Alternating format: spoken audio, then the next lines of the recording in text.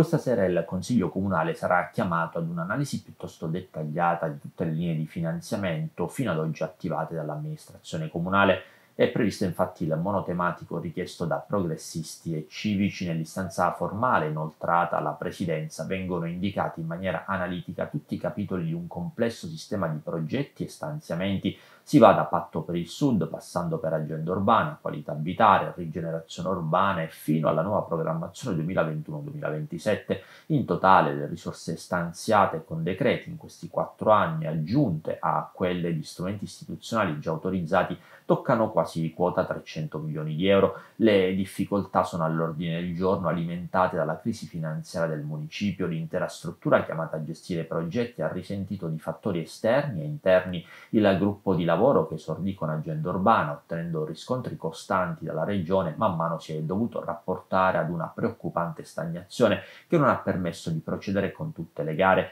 In queste ultime settimane arrivano segnali in controtendenza con l'affidamento e la gara dei lavori di riqualificazione di Montelungo e gli sviluppi in essere per il secondo tratto del lungomare Federico II di Svevia.